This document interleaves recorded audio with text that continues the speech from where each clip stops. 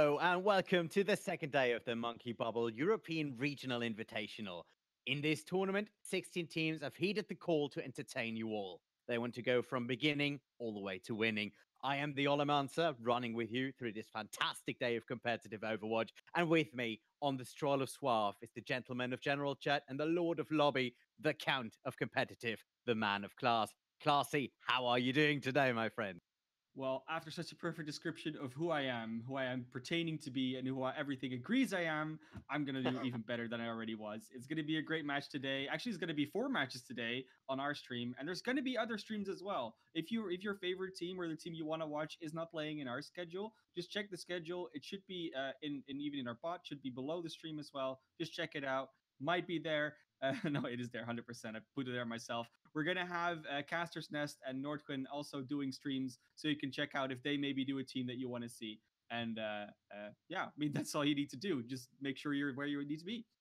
Yeah, that is right. That is right. And let's have a bit of a reminder of the people who made this po- uh, possible. Apart from, of course, the Monkey Bubble and our uh, other, uh, you know, our other casting friends from Norhuan and the Caster Nest. Uh, the tournament, tournament is partly brought to you by insights.gg. You can get an account today uh, to, uh, uh, you know, do an analysis of your VOD, your reviews uh, of uh, everything you've done, and whether or not they are good, stupid, or very good. Um, so, you know, uh, get some stuff in there. There should be a link down there. Um, you know, they were kind enough to help us out with this one. So, you know, at yeah. least I thought we should mention it. Right. Oh, so. The game, the game, the game. Let's get into the good stuff. We are looking at oh, Nocturnal yeah. versus Fourth Dimension. Talk us through this. Uh, specifically nocturnal aspects. Uh, you know, I don't know, don't exactly know for sure if they have other teams going as well, but they uh, they use their full name uh, against again, like you said, against Fourth Dimension. We saw Fourth Dimension quite a bit on our uh, on our own stream yesterday. Uh, they they they won their first game against that was against Banshee Esports. It was a relatively close one. Um, and then Fourth Dimension, actually, no, they lost their first game against Banshee Esports, I'm pretty sure. yeah, um, and so. then they went down and they beat Clockwork Vendetta to throw them out of the tournament. So that was a bit of a surprise to everyone. yeah, um, and now, now they're here. So they're they're in the lower bracket. This lower bracket match. The loser of this will have to go home, unfortunately. Um, but yeah, Fourth Dimension, showing up very good. Uh, a team that wasn't initially uh, going to be part of the tournament, but they had to step in last second. Really happy that they did that uh, and they're showing up. I mean, they're doing well. It's not like they were eliminated straight away. Uh, same thing goes for Nocturnal. They were uh, were a, a part of the original 16 as well, so they they were. Uh, I mean, they've been doing doing work a little bit, uh, but they've also had a little bit of a struggle, so that's why they're in the lower bracket, obviously. Talking about the players, though, that's where we're really going to be looking at what what's going to happen. Um, there's been a lot of good players so far having shown themselves on, on both of these teams. Uh, fourth dimension uh, players are definitely worth noting are, uh, are players like Doggo and HM. They've been really popping off both in the flex support and the DPS role. Uh, and on Nocturnal, I mean, Yulo has been one of the tank prodigies in the EU ladder, uh, as far as we understand. So we're going to have a hot main tank matchup. But Ooh. what are we going to see first, Ollie? Because it looks like it's going to be Busan. Oh, it is going to be Busan and it is going to be in open field straight away. So, a lot of room for those two tanks to maneuver, a lot of room for those teams to maneuver. I am really, really excited to uh, to see what these teams are getting into. Uh, they are assembling their teams. Uh, so, are we going to see May Reaper on this one? What do you think? I think May Reaper has actually seen not that much of play lately. It's been more rotating towards the Reaper Doomfist, and a lot of these teams have actually opted uh, in this tournament so far to play a Pharah next to a Doomfist rather than the Reaper. Um, because you know, obviously, if you play against a Doomfist Reaper, they don't have that range DPS to really deal with you, uh, yeah. and that means that you know it's it's going to be going to be very hard to deal with that Pharah, and she gets a lot of value. It's just a little bit less of that direct impact. So it's not a Doomfist punch just try to kill someone, but that's why they still run the Doomfist. So you can kill that person straight away still. Yeah, and it's not easy to just uh, run in with a hit scan on this thing just simply because you have uh, the problem of a double shield. So, you know, you can try and kill a Pharah, but, you know, what else are you going to do on this one? But let's see what's going to happen here as we see XHM in the air and is trying to get a couple of kills in there. First blood is drawn by Hulo on that very, very nice Orisa right there. Great matchup in there. Now we are looking at uh, Hota, who is trying to clear up the high ground as his team is uh, just uh, pushing forward on that. Backbone looking for a target, finds something, but has to move away there for a second. finds a support though, luckily, because that looked hairy for him for a second. Now, Nippertog trying to get that Pharah and that Mercy out of the sky. Remember, a lot of damage coming out from that Sigma, even though it has been nerfed just a very slight bit. So these teams are trading blows. Um, you know, the matchups are more or less what we can expect. So what are the win conditions here for each of these teams, Classy? I mean, you're basically looking at HM having to do enough work in the in a well, in a shorter time frame because the sustain of that team is going to be a bit less. They don't have as much mobility without the Lucio, and they're also looking at a little bit less of the instant burst that a Reaper Doomfist necessarily provide. That being said, they can run around the enemy a little bit more since they have that aerial attack damage. The only problem is they can't really hold on points, and there goes Backbone Yup, Backbone already going out. The Coalescence very early in there. We see a lot of attack bubbles being thrown by these uh, by these Moiras over there because they really work. But now it is the combo. XH Germano to clean up, and this should change the real estate. Very well done here. A double and a triple to clear this out. Yeah, HM showing up with the barrages to clean everything up, and that's what they really need to do because they can't really go for the sustain fights. Uh, that's really the territory of Nocturnal right now. So they, they're they're not going to be able to be as good on the ground war. It's just they're trying to sustain on the ground war while they're firing their troops to get work done. Yeah, that is that, that's right. Now the ultimate is coming in here, and once again, it is Hota trying to get Eden off his back. That is a bit of a theme here in this entire matchup. Now fighting over on the point, the capture is real, and we see a bit of a change over there. Yeah, it looks like they're. Uh they're gonna try something else here. Uh, obviously, no, they're not. I thought they were may maybe we're gonna because they used a few ultimates there, but it looks like they're gonna run it with the same thing. Point has flipped, like you said. Pharmercy is taking a little bit of an off angle though. This is what they're good at, trying to basically ignore the shields for large part. You see it all really. Yeah, that's right. I know it is uh, the ultimate coming in for Eden. He tries to find something else, but the bongos can't get it done. But jumps up there, Ruby with the help on the coalescence, and once again Nocturnal very dominant here in this first round. Yeah, Nocturnal doing a good job, and I really want to hand it to Nipahog because without those, uh, without those shields, really trying to just block off everything HSM wants to do, there would have probably already been three barrages, and so far they've only used one. And uh, yes, they have the second, but it's going to be a very desperate fight to get the come back. Yep, that's right. Now Hota fighting Backbone. Backbone goes up there with the Meteor Strike, finds Dargo. Overtime is running though, so it is time for 4 Dimension to do something. Put up or shut up, there you go. HM finds a target right there with the ultimate, has some damage in with the rest, but it is a bit underwhelming in terms of the end result right there. And the first round has been taken by Nocturnal. Nocturnal aspect showing up very good in this first round, really showing that they can deal with that Pharah in the sky. And I mean that, like we said, that's kind of what we're looking at right now with the May, not the May Reaper, but the Doomfist Reaper. They're working very well on the ground, and they need to somehow either sustain the Pharah damage or just do better damage in the same time frame that the Pharah does. And they're able to really uh, both mitigate the damage that HM was doing on the Pharah, yeah. through well, beautiful shields of Nipahog and what Nipahog is doing in general, but also just to keep doing their own damage without being phased too much. And I think that really comes down to good Sigma play here, right? Yeah, good Sigma play is key in these high-level matchups. We've seen some crazy, uh, crazy Sigma plays. Uh, yesterday, we've seen them. Uh, we've seen them actually in the EuroCup uh, a couple of weeks ago, uh, and we can see that Sigma has established himself as a absolute monster as an off tank right here, at least, you know, in the hands of the real people. Hota coming in from their side, throwing in the rock there, and finds a little bit of splash damage directly on the side. Kumo, she's uh, pulling back and trying to keep the team alive and together. They have to pull back here for a second here on the fourth dimension. So, uh, you know, once again, we see uh, that Nocturnal have, you know, all the right mark crossed here. I mean, they're, they're, just they're holding them back into that door frame to take the point, point first again, and now we're in this mirror matchup state where we already saw that Nocturne was able to deal with Pharah, and now they're dealing with this as well so far. Oh, as I say that though, Backbone goes down. This is a good opening of the fight, and Fourth Dimension is going to run through this, it seems. Exactly, fourth dimension now uh, are going straight for the point, being held up here. A slight bet by Dollar, but Dollar goes down. Dollar, dollar bill, y'all. Yeah, mean, Dala, just, you know, the, the lone Lucio trying to survive. Actually, the Reaper does get out because Eden wasn't quite part of that fight. And that might have been the, the main issue there. They just sped past the Reaper, and then Eden was sort of left alone there. It's like, oh, I'm going to try and shoot Lucio in the back, but that's about all they could do. And the rest of the fight has ensued on point.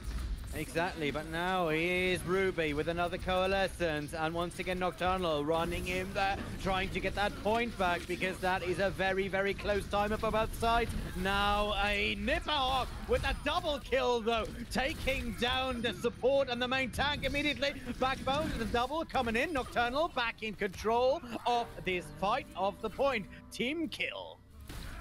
Team kill, and that's always a nice horn to hear. Just, you know, the, the, the, quick cleanup, meaning that you get it, and that means that you didn't only win a team fight, you won it quickly enough that the horn went off in the first place. I don't know exactly what the time frame is, but it's not long. It's like 10 or 12 seconds. So that means you're really, really good on that. It's before the respawn time comes down. Oh, yeah. Ulter's ready though. Oh, and coming in, HM coming in there with the ultimate. Doesn't find any targets thanks to a great sound barrier that came in to save the team. Very well done here by Dollar, who uh, was just waiting for something like that to happen. XHM couldn't get it done there with the Death Blossom. But now Beastalk finds Eden and goes down immediately to a Coalescence that comes out of Doggo. Doggo firing the laser all the way through. And it does look like fourth dimension isn't going to take this lying down. They are pushing back up there. V-Stock on Julo. Julo down. Nipperhawk following it. So no more tanks here for the Nocturnals. Yeah, Nocturnal doing a good job so far. Once again, they they are already in the lead on one stage, and now they're just trying to get Eden as a last pick. But Eden's doing quite a bit of damage before that can take takes down. Um, yeah, okay, they got it. Fourth Dimension gets the point back. They have a little bit of mountain to climb, though. They do have quite a bit of ultimate advantage here, so they could very well stall it out for a little bit longer. But we're going to get into a place where Nocturnal, they play their cards right, they could have a better ult economy. That pool was beautiful!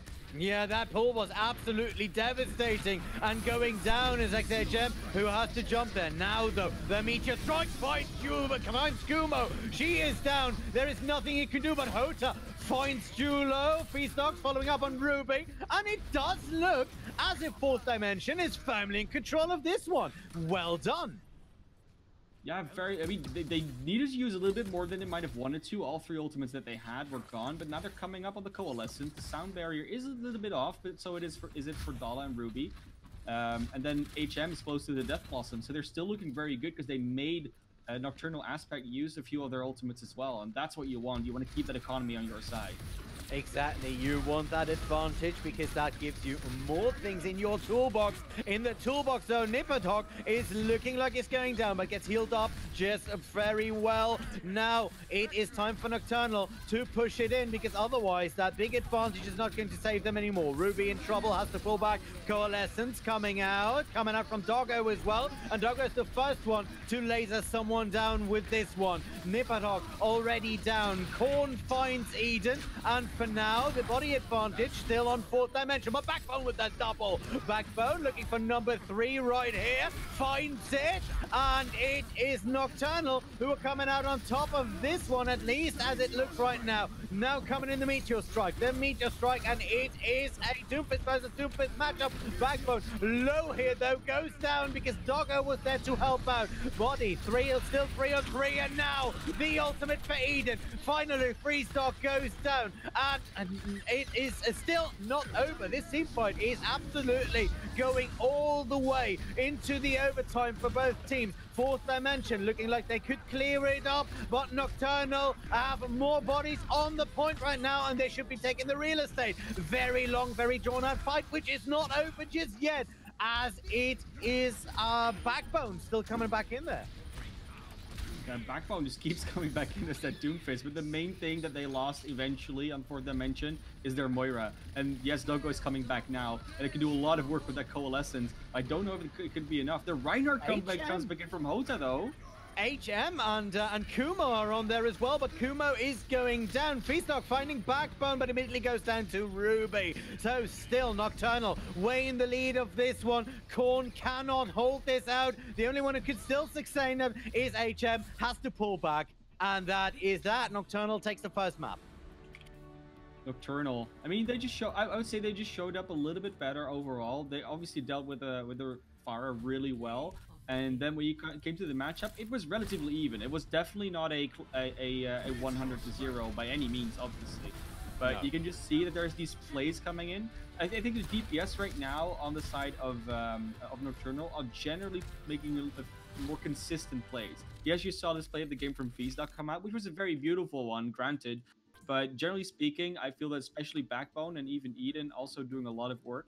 I do want to point out that Doggo has been a very standout mm-hmm. player so far in Fourth Dimension. Has been doing a lot of work with coalescences, but also as a general like vanilla Moira, as we like to call it, has been in the right position to do the right of healing, good resource management, able to get uh, uh, the extra damage in that a Moira needs to most of the time as well. So I'm very happy to see Doggo play like this. He's been in the in the in this in this level of the scene for quite a while now, and yeah. uh, it's probably just waiting for that break. I think he was actually with HSL just uh, in uh, Contenders Trials last season, uh, and then didn't go through with the HSL roster. That eventually is now going to the Gauntlet. Uh, but he, has been around. He's definitely been around. So uh, yeah, hoping to see more of that. But that being said, though, I, I think it's been a it's been a fun map so far. And Control is always that first map of the series that it, it, it, can set the tone, but it can also be very misleading to what we see. Because we saw Fourth Dimension win the first map against Banshee yes, yesterday, and then they went down three maps after that. So uh, we don't know if Control's maybe their best mode, but we're going to see what happens when they go to Eichenwald.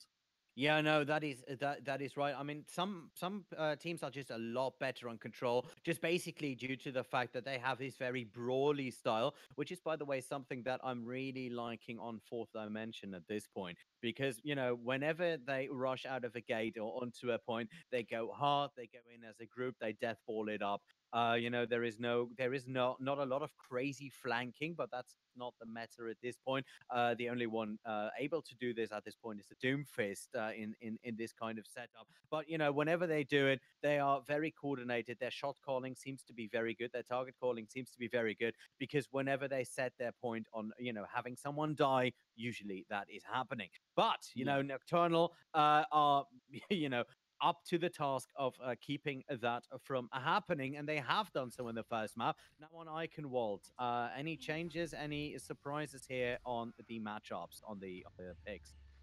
Well, I mean, we, we don't really see any change in players. I mean, they both teams obviously are allowed to have substitutes. They're not coming in right now.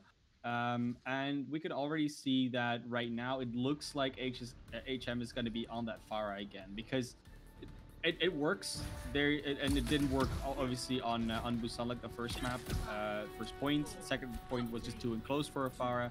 It's logical that they're going to go back to it because it is has been their strategy. The question is whether it will work out for them or not. Because there's no hit scan on the defense, but this time I think the open range is just a little bit better and it works a little bit different than City Center.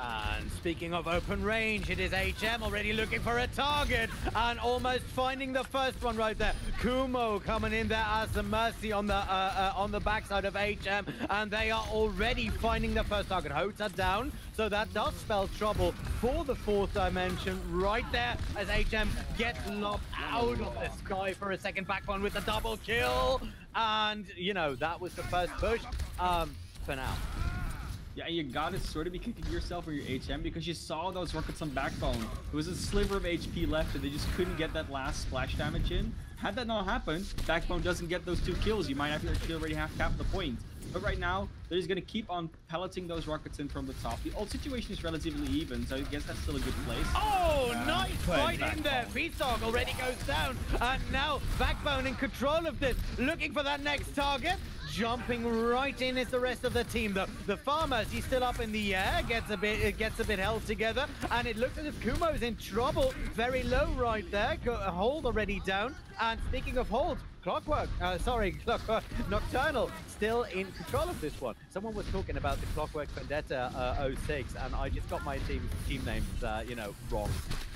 Yeah, that, that's, uh, that just happens sometimes. You know, you can't really, uh, really do anything about that. But hey, Backbone is down now. This is your chance. Dog, you can go in. You can go in with that and no one's gonna punch you out of the sky this time around. And No, they're going hard already. They are going hard too. Coalescence has already spent. Ruby uh, fired the one, Doggo fired the other one. But now it is the fourth dimension who are really looking for some targets. Backbone on his way back though. Dollar has the sound barrier, has to has to push someone away. Hasn't used it just yet though. Kumo gets pulled back up and fourth dimension in control of this one. This should be turning around any time now. HM finds Eden before he, before he can do some damage right there. Very well done. And immediately going long there, trying to get that bridge already in their own control. And that looked hairy for a second there for Yulo. This is going to be a playground for Flower. As long as there's no hit scan on the other side, you can just fly around in the air wherever you want. And you can dodge most of the fire that comes at you. Yeah, you see Nipahog just trying to get that shield in the way. It's so difficult right now. Dog hasn't having to escape with the Meteor Strike. Will he get value?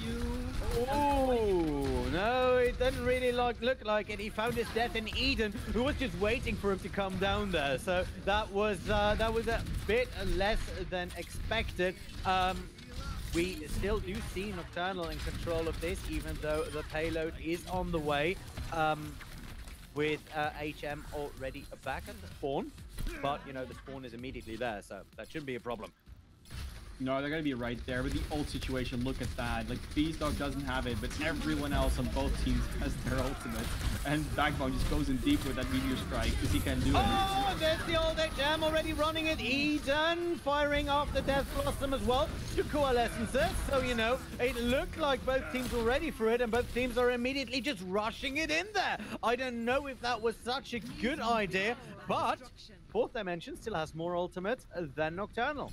Well, they didn't have that before, so they just drew out everything that they needed to draw out, and now they're gonna have they're gonna run into yes, they got that run into the sound barrier, but they should be able to overpower that sound barrier with their coalescent supercharger and their gravitic flux if they time it right. Oh, speaking of gravitic flux, that's coming up. That's coming down with the sound barrier and mid-air takes care of that. Hota had hoped for a lot more value of that. Now 8% with a Lucio behind. A Doggo, a dollar makes it out of there and closes that deal off. HM is up there together with Kumo, still trying to find that off angle. That off angle is getting a lot of value, but the rest of the team doesn't really go any way further forward. Backbone, very aggressive here, very cheeky, has to run away, and now finally goes down. Yeah, honestly, what, what's happening a lot for Nocturnal, which, which are doing very well, they're capitalizing on the lack of a backline uh, because there's no, there's only one DPS that can really deal, and Feastdog is being very aggressive. They can consistently see even into the backline, and it's working very well. Feastdog already down now, it's going to be even easier for them to just run around and kill everything. Yeah, Jula is just holding control and showing that the right angle means everything to a good Orisa like he is. Ruby finds Hota Ruby, closing it out on Doggo as well with the double on the Coalescence. And Eden, for some reason, is using his shotguns to fire up in this sky. Um, but, you know, no other targets about, so I guess that's something. Yeah, yeah. Can't really do that right now. Feastdog going over to the hit scan though, and H- HM stays on the far. I mean, they have a minute and a half left, so it's a good time to swap if you're going to. But the McCree, I think, guess they just want to deal with Backbone coming in consistently. Yeah, that is right. Eden already has another Death Blossom. Doesn't need it though for the double kill right there. Going into the back and trying to find Korn, but Korn already downed by uh, finding Backbone or Backbone finding him, depending on your personal situation right there. So, still in control, Nocturnal. It is a bit one-sided ever since the turnover of that uh, that first cap point. Uh, Yeah. Let's hope that Fourth Dimension can find uh, some trick in their book because they're going to need it by now. And just use these two flankers, and one is baiting out the flash, and then he gets And out there it gets there's the ultimate coming in, but HM saw that, finds Ooh. that quadra kill, and finds Let's Ruby go. Fourth dimension, pull the trick out of the book, and Eden was trying to get in there with the Death Blossom, and they just turned it around on them. Well done, and that payload now moving out. Yeah, it's really one of those things where it was about time. They kept consistently having that ult advantage and just not being able to use them. So it's good that they got it out. It would have been really depressing if they had the ult advantage all the time and just couldn't be able, weren't able to use them. So, but now they're just gonna run straight to point here on Nocturnal side. Gravitic Flux is huge though. Oh, yeah, that is, but also the sound barrier is coming in right there, so not as huge as it could have been. Very well done here. Feastdog now on the McCree, trying to actively get a, a stop to HM and Kumo. HM already saw that and switched to a Doomfist. So, no more Pharah in the sky. Uh, we're uh, looking at the bridge fight in a second right now, but the overtime wing is already running. So, time for Fourth Dimension to pull it out of the hat. HM points Yulo, gets Nip and Hawk there as well. Doggo on Dollar and Fourth Dimension are running and rolling. Now that they are running and rolling, they don't seem to want to stop at this one. No, they don't. But they're gonna run now. They're gonna run into the situation where they now they have used all their ultimates and they don't have anything left. And there's gonna be especially a coalescence from Ruby coming out and Backbone's Meteor Strike, which they have not been able to deal with so well. Yeah, that's right. And Korn is just making a lot of room right there. Always just there where he is needed. Jumps in there. Kumo gets HM back in there, but immediately goes down to Eden. Eden with the double. Hota falls down, and this is looking bad for the fourth dimension. The Valkyrie is out, but that doesn't really help you when Backbone and Yulo are looking at you. Round one complete just before the second cap point. I mean, it's it's a decent progress. It's often a place where the cart will stop on Eichenwald. Uh, and it's still obviously after what happened as soon as they cap point A, as long as they were stalled under that door, this is probably as much as they could have hoped for like after that situation. Of course, you'd rather get the second checkpoint and then go into third, but uh, if, if, it was it was likely going to end somewhere over here anyways in that situation. So, yeah. I mean, they got there almost. So this is about the place where you would sort of say this is where you hold them. Um, I'm, I'm, expecting the fire to come out on defense again. It's really likely that's going to happen. HM has been really good on it, but showed up on the Doomfist in the end as well. So it's a little bit of one of those like, do, do you do you need to play the Pharah because they play around it very well, or would you rather say because we're playing defensive, we'd rather have a little bit more of that ground support? Uh, yeah, I don't know. We do see that Feast Dog is probably going to go over to the McCree, so they're going to go and continue that trend where they use the McCree to deal with the flankers. And what I, I guess that what you were, yeah, no, go ahead. What I, what, what I wanted to ask you before we jump into the next round and into what is going to happen, uh, yeah. How did that hole take so long? Uh, I was I was saying earlier that I thought the fourth dimension was a very brawly team, so I would expect them to, you know, just be able to burst out of that one uh, quite easily. What what sure. what happened with that hole? Well, I mean, I mean, so so essentially what I alluded to it a little bit already. So because you have HM in the sky, your ground presence is a lot weaker. So the ability for flankers to get behind you and do things like Eden and Backbone were doing constantly is way stronger. And Eden Backbone, even when Feastdog switched over to the McCree, were really good at baiting out the flash and then having the other go in. Also, I think Backbone is doing a great job at Doomfist, really recognizing that the only thing you have to do is get in and then use your third ability to always get out. Don't try and get a kill with it, because oh. even if you do, you'll it would not be worth it. Yeah, he jumped in there, found the rock, and was able to get out there nonetheless. So that really sounds to uh, uh, shows to how good your healers are at that point. Stunned out there now, though, has to pull back. Uh, in control right now, though, is uh, is fourth dimension. HM finds Backbone in that little hallway, and they are not about to give up. Beast Dog finds Ruby on there, finds Eden as well, is in trouble, but manages to right-click his way out of trouble. Well done there on the first attack, and that was the fourth dimension I wanted to see. Yeah, fourth dimension I mean, they, they look to be more of a defensive team. I think the problem that Nocturnal's going to have here is that they're not going to be able to do as e be as easy on the flanks as they are on the defense.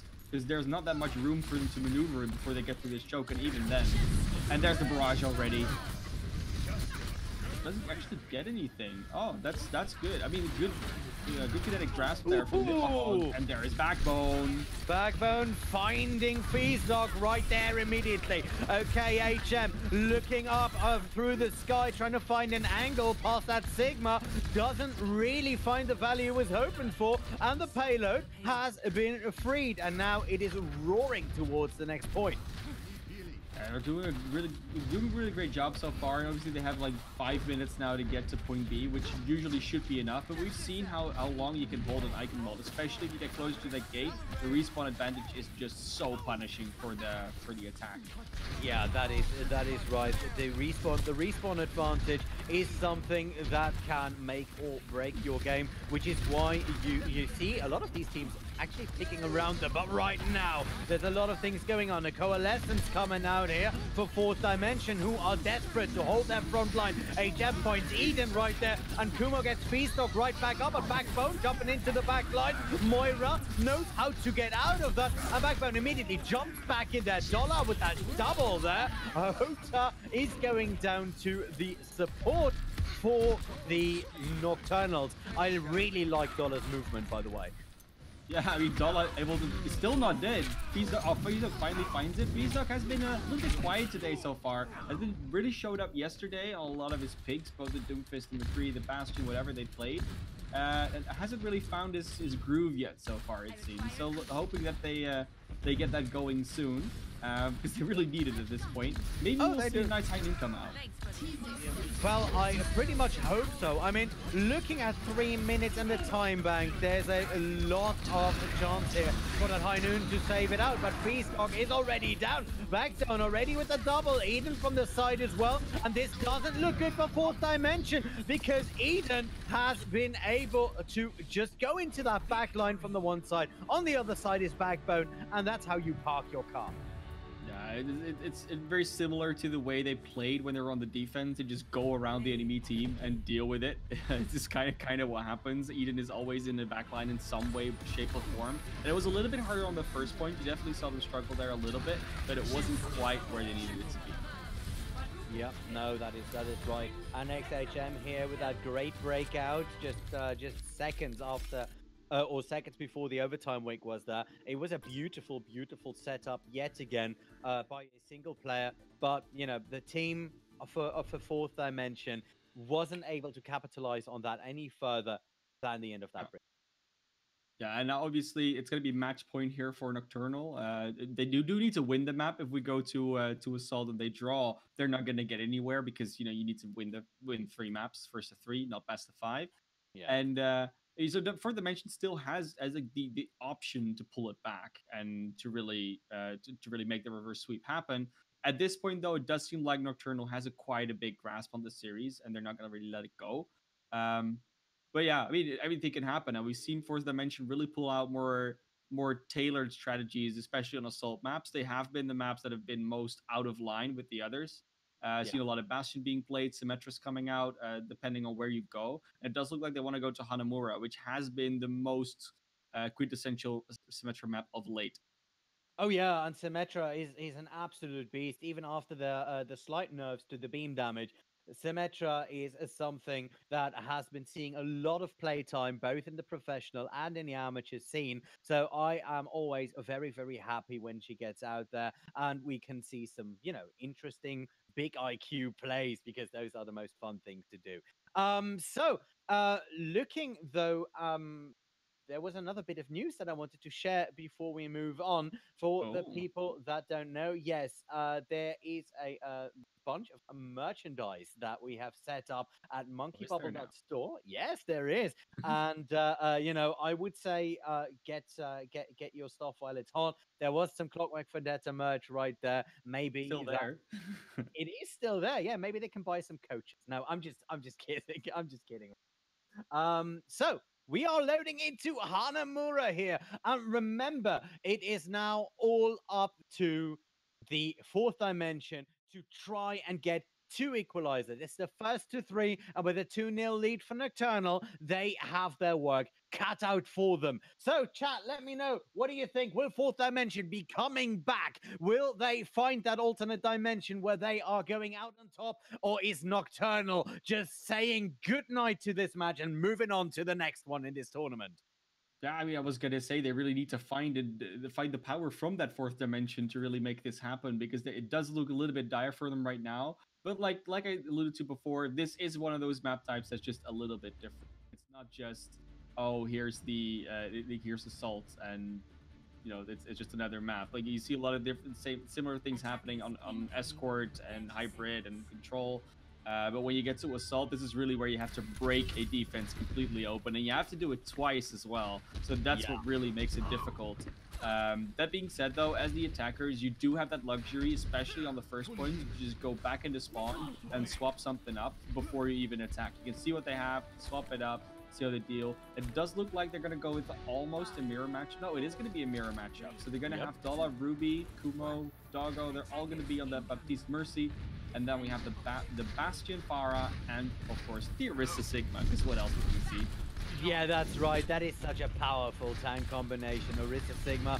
Um, and you know, with uh, with with main tanks uh, of that quality, why wouldn't you? HM immediately finds a rocket that was fired by Eden. Eden takes Kumo down as well. Backbone though in a little bit of trouble, even though he's up there on this little perch. A lot of shielding for him right there though. They can do whatever the hell he wants, and Eden is doing whatever the hell they want. Feast, the Feast Dog and Doggo's, uh, you know, immortality field immediately going down. That means fourth dimension immediately pulling back. Fourth Dimension has to go and try again, but they do have the Amplification Matrix. If they set it up correctly, they could just overpower the defense. Uh, that's what we, we we used to see that before when Baptiste could use was edit. Um, they would set up a bunker on the defense with the Bastion, and then you would just charge your Baptiste ult quicker than the other team and just overpower them because you have more damage. Doesn't look like that's exactly what's going to happen here right now, but they may still do it. Yeah, that's right. And now once again, fourth dimension, trying to find a nice little angle to set up their dog right there. You know, just take over that high ground and make sure that you are the one holding all the cards. That's basically what this strategy is all about. But now the amplification matrix is coming out there for Nocturnal. Dog trying to get even with that damage, but it is very hard to do. Backbone was already able to get dog, and Eden gets HM out of the sky yet again. But this fight is far from over. So let's see what fourth dimension can pull out of uh, uh, pull out of that dimension. Come on, show us the pocket dimension stuff right there as Backbone takes down your backline slowly but surely. Yeah, I mean, he is, he is the backbone of that team. You know, can make the joke, but right now we're still waiting for Eden to come back. So they do have that Pharah advantage. They do have that barrage advantage as well if the Pharah isn't here. And Dala going absolutely low. Will get healed up before the rotation happens, but it is nice to see that they're able to get through the choke and set this up nicely. Look at that, Feastock actually jumping to next uh, next to the shield and almost going down before even being proper set up. Backbone identified that and was able to pull a lot of damage in there, which means the high ground once again has to be, um, you know, basically abandoned by fourth dimension. HM still looking for that opening. Oh, firing the ultimate into that little window. That is not as much damage as they wanted, especially since Bagdo went into tank form and gets HM and Kumo out of the sky. They are properly and truly entrenched into this one. Now, if that isn't a bunker cup, I don't know what is. Beastalk with his own tank form can't find the same sort of value and is in trouble, even though the immortality field is up there. Backbone, Nipperhawk are just pushing in there, and fourth dimension push once again neutralized, and they have to go back from square one.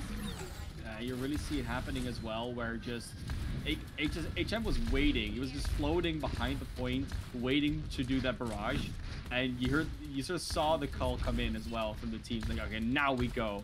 And it was just too late because the immortality field was down initially, but as soon as they dropped, it basically came back up instantly. So it was the, the, the cooldown was back up. And you could they could have abused it, but their rotation just took too long.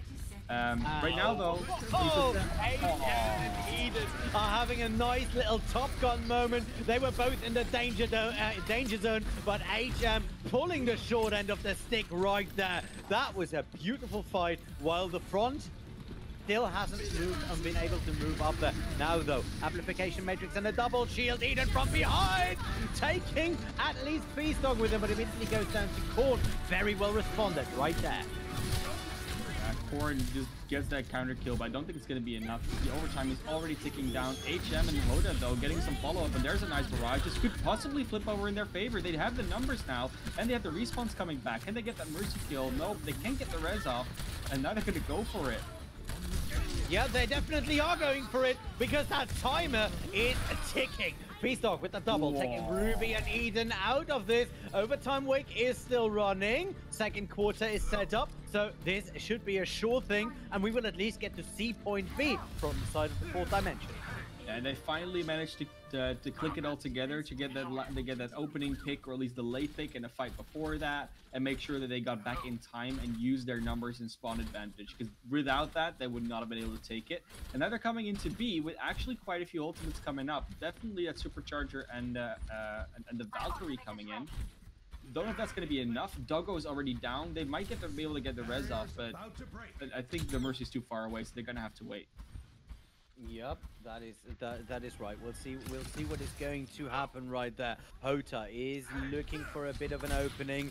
Dollar setting up there with the rest on the right side. It's gonna be so hard to break this. Like they have to force the fight to point. They have to make them come to point. Otherwise, they're just gonna get spammed down every single time. Yep. Maybe a, a, maybe HM can get up there with a barrage. They do take down Eden. That's a big part of their mobility and their damage mitigation no, that is right. But we've seen that kind of stuff in earlier in earlier setups. Beastar takes backbone, and uh, the uh, the supercharger and the immortality zone around. So it looks like Fourth Dimension are doing just that. They're just forcing the fight right where they want it, right where they want to have it. And Nipodog in trouble, going down. Second quarter is already in there. Uh, sorry, second, third, and it should be going towards the Fourth Dimension right there, and it is very well done right there. Backbone finds feast Dog here by just sneaking around the sand and sneaky, sneaky Backbone. But HM turns around and finishes the job. So, Fourth Dimension firmly in control of this. What just happened? They are just turning this around. HM still has an ultimate and launches it right now. The Immortality Zone is preventing a lot of damage right there. At least Yulo is going down. One of the supporters down, but Niphawk with a double kill. Kumo and Korn already down, taking the triple for Hota. And it looks as if the Nocturnal, slowly but surely, can balance this out. Yulo, Yulo in trouble. No, only a, a little bit of a point left there for the Nocturnals. And they could be able to make this. Look at that. Wow. It's just, it, it, I, it feels almost unreal that they actually did that after how dominant sort of looked the whole the defense from Nocturnal on A, and then they're just able to get in there, and it's just. It kind of feels like Nocturnal is dropping a few, uh, dropping a few balls here and there. Just Eden trying to one v one a farm, uh, one v two basically a pharmacy, and then dying on the side and there's just a few of these mispositions and these these overzealous plays happening here and there. They think they, they think they can sort of pull it back and then clutch it out, and it, the clutches aren't just coming as easily as they were in the previous maps. So that might just be good preparation for Dimension, and also for Dimension realizing that, that, that that's what's happening. Um, but it's definitely also a little bit on the part of Nocturnal. So Nocturnal has to now be serious about it again, or they always had to be serious about it in the first place, of course. Um, but they really have to turn it back around into their into their direction in order to really win this map out. They at least they need to capture both points. If they capture both points, they'll definitely get another attempt. But they still need to do it, and they're gonna have seven minutes to do so. So that should be plenty of time normally. But who knows? I mean, Fourth Dimension looking good so far on this map. yeah, they are looking very good on this map, and I hope they can actually take this up because I would love to see a long rally from these two teams who are practically, you know, quite even. It is just that Nocturnal always seems to be able to execute their strategies a slight bit more. HM is ready and waiting for the Nocturnals to come out of that gate. So let's see what they're coming out of the gate with. Uh, in terms of the setup, looks pretty standard, but I do see a Widowmaker. So that could spell trouble for HM, who already was rather easy to hit by Eden when they were in the mirror match. Yeah, Eden is just gonna. This is the thing, though. They're gonna keep triggering the, the, the, the, changes coming out from Nocturnal. Already 17, 18 seconds wasted, and now they're on the comp they want to run with. They're going to use that Mei wall to try and, and wall off the Bastion and then run into a different rotation. That's what's going to happen here. That looks like that's already going relatively well. Back and goes very low, gets healed back up. All of the damage everywhere. What's that wall? That Mei wall just saved half of the fourth dimension right there. And I don't know why they were doing that. Uh, but, you know, it could have been some form of weird strategy, but I don't think it worked in their favor at this point. HM has an ultimate, looking for targets right now. Going on the side of this, the ultimate doesn't find anyone right there, thanks to a great immortality field right set up by Dollar. You got to pat yourself on the back for that one because that could have spelled trouble in a short notice. And now Nocturnal moving in right on the point. Nocturnal on the point right now, but they do have to still be careful because everything is set up here. The Bastion, they're using the wall to separate the Bastion though, that's a huge play because that means Feastock is down. The rest does come in though. The rest does come in, and fourth dimension not done yet. Corn and Feastock immediately down by Backbone, who just has a very, very nice angle on that. HM can't do anything in the back line, has been frozen out by Eden, and then just get executed there from the side. Backbone is firing on Doggo, they're just waiting for that immortality zone to go for both supports to die. Now, very quick cap, you know, comparatively for Nocturnal, but still, point B is a lot harder to cap. It is a lot harder to cap, and especially now that HM has gone over to the Symmetra, they're going to teleport that Bastion to the high ground. HM probably switching back to the Pharah after that, or the Mei, it seems. Uh, but they, they do have that same setup going on that Nocturnal had on the high ground as well. And uh, with the wall, they can be very, very annoying to what Nocturnal wants to do. Uh, Nocturnal knows where they are. They, they probably expected this anyways. Uh, but HM is going to try and separate them Oh, the side. oh, oh, Backbone looking around the corner. That shield was there and suddenly was gone, and so was he. Yeah, yeah, that's uh, that's a quick kill, and they don't have a mercy on the on the attack, so that means they can't res it, and that's going to be so important. Kumo being able to res people up, plus the respawn advantage, this could be an incredible stall if they even manage to get close enough to the points that Fourth Dimension needs to start the stall in the first place. But right now, the main healing obviously comes out from Doggo, but if you've ever seen the Baptiste numbers, you know that that's plenty healing for a team. Oh yeah, that is plenty healing for an entire team, especially in a bunker sort of situation.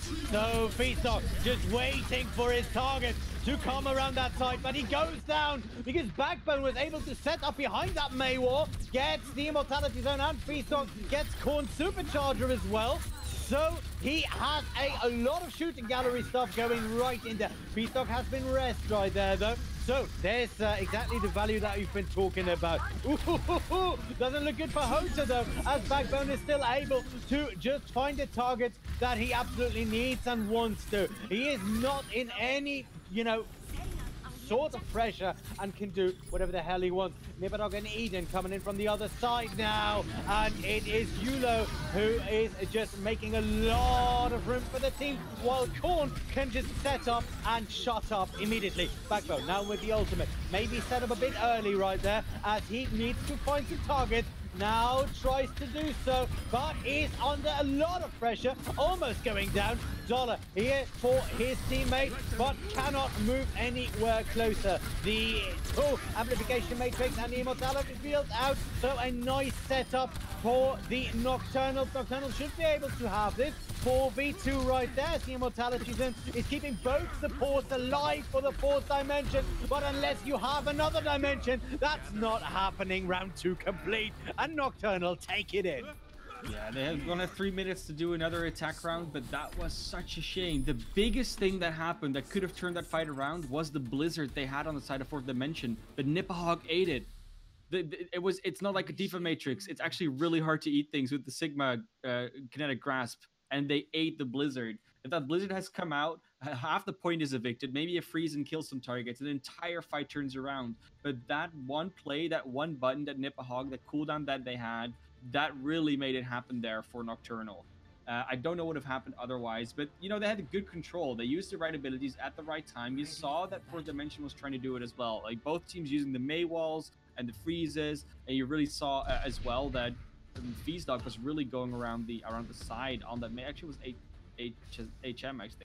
Yeah, HM was on the Mei, going around the side, trying to harass them from the back as well on the side of Nocturnal. Yeah. So there was a lot going on, and it, Fourth Dimension was really doing a great job. But just that Blizzard eat, I think that was really, that really cemented it for Nocturnal. that is right. So we'll see what is going to happen as these uh, teams swap sides yet again. Now, what I would really like to see is a Hota, um, you know, stepping it up a bit more. I mean, he's been throwing out shields left and right very well, uh, but you know, comparing him to Nipahog, who has been making some plays, who has been uh, setting uh, setting up some flanks, throwing some great, great rocks left and right. Uh, you know, he is a lot less you know, visible uh, in these fights than uh, his counterpart on Team Nocturnal. But now, fourth dimension, moving up towards the choke. Eden finds Beastdog immediately, so that is already a stalled first approach here from fourth dimension, who have to pull back to retry taking on Kumo a little bit late there, but it's just it, it's going to take a lot of them to get in. I think they want to do the teleport to point strat. Um, I don't really know what else they would be doing, and if they can pull that off, that's actually a really great strat. Are they're going to try and teleport to the roof? It's even worse. Oh, they're oh yeah, they are. It. That is open field situation. So they, apparently, they get some nice angle on there, but Doggo already going down backbone, saw what was happening, turned around and made it down Eden with a double on Corn and HM. HM. Mean, they tried with the Symmetra teleporter. They had to try something with a minute left, so I get it. But unfortunately, it just didn't work out. Uh, the roof teleport strat is a, is a relatively new one. It's not uh, not a lot, not a lot of teams want to pull it out. And um, I mean, yeah, I mean, it, it, it, worked. The teleporter got there, but by the time they actually were going through the teleporter, they couldn't really do anything with their lives because they had basically already lost it. So that was a little bit of a shame. Uh, but then again, we could still go to a draw here. Three minutes is not a. I mean, it's still more almost as much you get on your normal first attempt. But if you get a good defense started and you get some ultimates up, you can really keep rolling through those ultimates, keep rotating through to properly hold it. And that's probably what Nocturnal is uh, is most afraid of, that that's going to happen to them. Fourth Dimension, though, they do have a, a pretty good task ahead of them. And, you know, again, if they lose this, they'll be out of the tournament. That Nocturnal will have won. Um, but let's hope for them that that's not the case. And we get a draw and we go to a map four. Yeah, if that is the case, we are going to map four. So please get it, get it, get get it done. Uh, fourth dimension. So fourth dimension on the defense right here. We don't see anything crazy from them. The setup is the same on the side of Nocturnal, though. We see Eden once again on that uh, on that Mei that has been doing some interesting things right there. But apparently they're going for a scout with the Widowmaker on the first shot. Last time HM almost got caught out by that. So let's see whether or not they've learned their lesson. Does look like they're gonna go in with a Widowmaker. No, Backbone and Eden are probably just gonna swap off soon. I don't think they're gonna run with this. They're just checking what the enemy is running and then adapting to it. So it looks like they're gonna just run in with the same thing they did last time with the Mei, with the with the Bastion again. Yeah, Ruby it was very effective. Yeah, I mean Ruby on the Ana did a good job with the Engineers as well last time. So if that comes out again, it's just gonna be very hard. And again, Backbone just jumping in there, but finds the rock. The gets stunned, almost immediately gets killed, but was saved there by a very, very good wall by Hulo. Very, very well set up right there. But the Pharah is still up in the air, so Nipperdhawk needs to make something happen or at least push them back far enough in order for Backbone to be able to set up. Eden looking for a nice little right click, can't find it though. Now has to ice block on top of the point. Set up on the bunker already now is the fourth dimension. Uh, but HM going down to a right click by Eden. Well done. Yeah, Eden just you know, being, showing up on the Mei so far pretty well, not dying to the fire this time around. But you see this, it is it's just this relation between the two high grounds on the point, the right side and the left side, and Backbone going very low. Immortality Field is there. The wall comes up. They try to get Beastdog. If Beastdog is alive, really touch the point. They do it in time, and now yeah. the fight's really gonna break out without the cooldowns. Yeah, Matrix. So uh, you know, Backbone can't go fully head to head on that one. They have to at least get a bit of an out angle. Now Dollar has its own ultimate, but they are all up in the air. I told hosts to step it up, and it looks like they're doing it. But Immortality Field was able to save the team. Dollar once again there when he needs to be. Backbone takes AHF. Nipperdhawk turns around and release on. Interesting. Gets Hota as well. And that, as they say, is that Nocturnal wins, takes it for the 3-0, and the first map gone. Yeah, just uh, first match of the day. Good match of the good good first match of the day in general, but Nocturnal did look to have that edge a little bit throughout that entire uh, entire endeavor. So that means that, yeah, Nocturnal's going to move on to losers round. Going to face off against the winner of Indignation and Lunation Esports. Oh, wow. Um, Any predictions for that one? I, that's going to be a hard one. I mean, we, we, did have a seeding for this tournament. Indignation and Lunation Esports were the second and third seed, second and fifth seed respectively. So Indignation should theoretically come out on top of that matchup. and then Nocturnal was the third seed, so they should theoretically then you know lose the indignation. But everything can be thrown out the window because our first seed, Clockwork Vendetta, is already out. Um, but obviously, we got to address the elephant in the room. It wasn't the same Clockwork Vendetta uh, full roster that also participated in contenders and wasn't there in, for the last Invitational. So that is a little bit of a uh, uh, of, of, a different story there. But that being said, a lot of these teams they've been going through a lot of roster shuffles. We had a very long off season, so uh, it, it's very hard to see these teams in general. So the seeds, while they're there, they might not mean as much as we think they do. Right now, though, uh, yeah, Nocturnal going on, and they were looking very strong once again. Had a, a, a very showing up very well. Yulo doing a great job on the main tank. Uh, Niphawk, outstanding Sigma. Might have been the best Sigma that I've seen all weekend so far. Um, yeah, Dollar, Ruby showing up on the support as they should, and Backbone was the backbone of the team. Um, that being said, though, Backbone wasn't oversh- overshadowing Eden. It was a very even DPS combo and they really they really did their did their thing together. So uh, one didn't work without the other. Uh, I'm trying to say there. That is true, and we have a bit of a surprise for you. With us from the winning team from Nocturnal is a dollar. Hello, hello, dollar. How are you doing? Uh, hello, I'm uh, really good. That is super good. Yeah, you you had a really good game right there. A couple of a uh, couple of uh, very very very good saves. Uh, I I gotta say. So um, you know, what was your what was your feeling here coming into fourth dimensions uh, uh after you know what seems to be a uh, very turbulent first day for your team?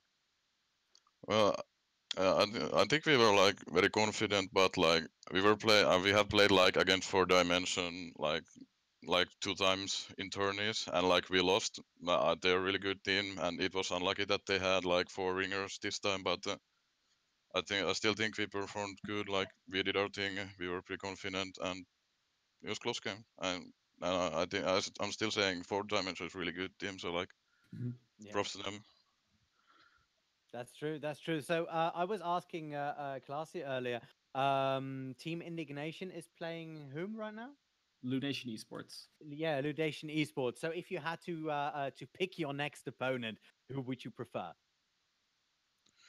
Uh, I, I've played against Indignation like multiple times, and we're pretty confident. Like, like against them playing, I I don't think we had played Lunation like at all, but so I, I can really say I would say Indignation because we don't haven't played against Lunation at all. But who knows? Yeah, yeah, that's right, that's right. So looking at the uh, uh, at the right now, you are in the lower brackets. Will you be able to fight your way back to the top? Is that uh, uh do you think that your team has what it takes to do that? Uh, I hope so. We are trying our best, and uh, well, this is obviously the biggest tournament we have. Like we are gonna give it all, and we hope. Classy, you got a question for our guest here? I uh, I really don't know, actually don't have anything to ask. Well, the main thing I kind of want to ask is um uh is I suppose how how are like the comps between the DPS? Do they really talk about a lot about like when one goes in and when the other does something, or is it just we smash and that's how it works? It's like like it's usually just like uh, a Doomfist player, the backbone, like calls for pulls, you know, go mm-hmm. for a combo and things like that, and the Eden, the Reaper player like you know just calls for flanks and if you if you have doom we just you know int in int in and then just uh, we call pull and uh, we hope we kill someone yeah well i mean it's working out so far so i guess that's uh, that's the right com structure yeah i mean yes. don't overcom don't overcomplicate it right if it works it works you don't have yes. to fix anything that's not broken yes, uh, very true.